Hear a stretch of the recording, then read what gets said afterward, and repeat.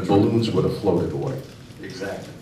So it is exciting, it is happening, and, and on the panel, it's already been stated that, you know, within our lifetime, let me tell you folks, I think within the next three or four years, you're gonna see some amazing things coming out.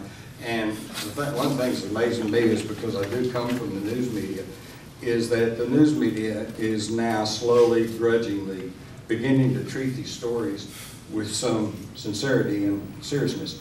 Uh, I watched the ABC uh, report from the guy in the street about the sighting in New York, and he wasn't laughing and sneering at all these people. He was going, there's something up there, and he says, uh, what is it? And he said, I just really don't know.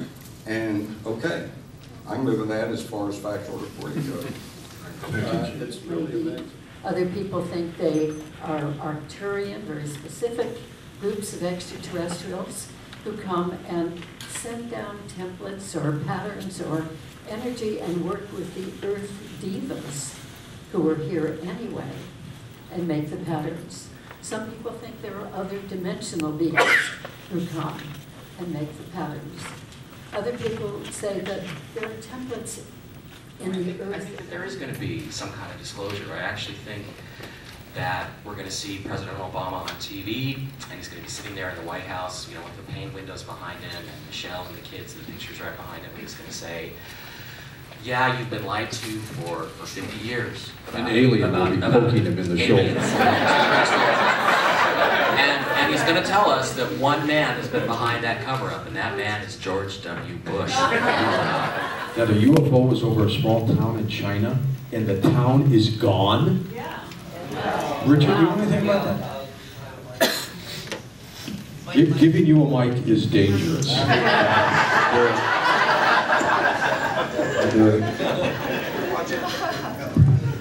This is why you have to be very careful. Get the bell ready. Sent for a gong, actually. Okay, um, the actual story is that the Chinese military authorities had closed off the town.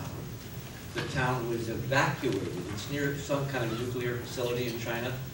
And when you go to Google, the term disappeared and evacuated are switched. Ah. So the, the misimpression on the internet is because of the Google mistranslation. Was it UFO related? Not really, but there's so much UFO activity in China, which is very suspicious. My personal opinion is it's, it's pressure of some kind because the Chinese have put a spacecraft in orbit around the moon.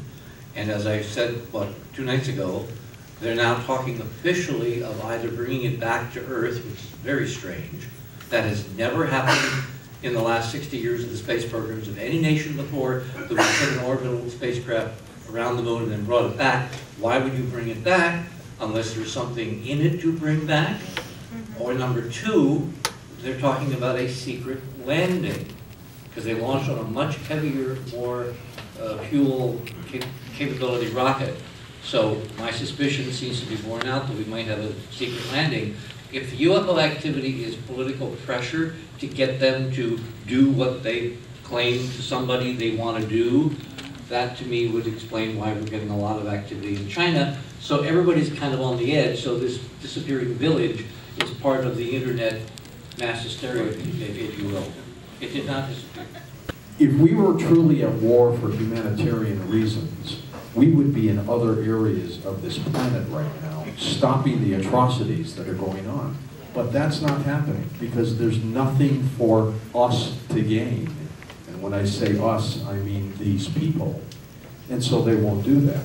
What they will do, however, is go into regions and go into places that they think they can gain.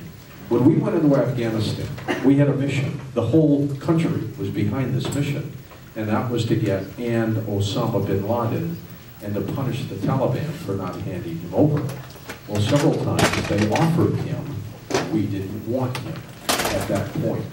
When we decided to go in and get him, and he took off, if he's ever around anyway, we're still there. All these years, we just had 17 more soldiers die just few days ago. But poppy fields are back in production. More so than before. Yeah. Now, make no mistake about this. I was in the military for nine years. I consider myself to be a patriot, and I love this country, no doubt.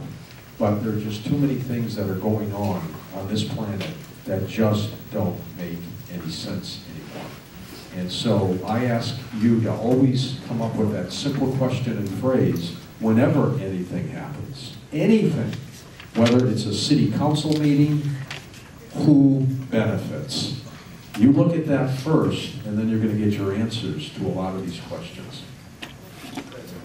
Of course, there's wars out there. Of course, there are problems out there. So the idea to think that everything is hunky-dory out there, that's If we were truly at war for humanitarian reasons, we would be in other areas of this planet right now, stopping the atrocities that are going on. But that's not happening, because there's nothing for us to gain. And when I say us, I mean these people. And so they won't do that. What they will do, however, is go into regions and go into places that they in think the state of Kansas, Dorothy. It was blue, vertical. And what happened was, the Soviets, so the Russians had launched a new ballistic missile from a submarine under the White Sea. It streaked up at 12,000 miles an hour, and we can prove this mathematically. It was stopped in midair and slowed down to the speed of a Piper Cub, a couple hundred miles an hour, 150 miles an hour, for the rest of the flight. Huge spirals of stuff, a blue corkscrew beam coming up from somewhere in Norway, total phenomenology of torsion field physics. Our interpretation in the papers, three of them on the website, free for you, is this was a message to Obama something to do with his Nobel Peace Prize, what he was going to be doing in the next three or four years up through 2012.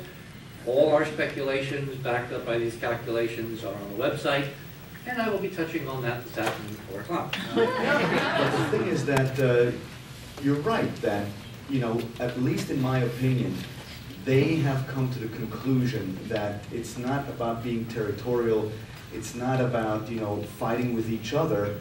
You know, even though there, I think, are wars between other civilizations out there, just like there are friendships and, and alliances between other planets out there, but that, um, you know, they at least have figured out not to kill each other. And, you know, and I think that's the only way um, we'll ever advance, because, see, the thing is that the moment that extraterrestrials were to show themselves publicly, then race, how much money you make, social class becomes irrelevant. Because what you have to say then is, if they ask you, where are you from? Yeah, you can still say you're from California, you're from wherever. But in the end, it's one answer. We have been under the control of a small handful of people going all the way back through our history who want to control us, who want absolute power. And uh, this is something that I'll be talking about in my talk tomorrow. And so we need to, it's, it's not us, it's not the human race. Human race are, are good people. We have to decide, we have to figure out who it is that's been trying to control us through bloodlines, whether it's the Caesar, the Pharaoh, the king, the Führer, whatever. And we need to start identifying those people and stripping them of their power.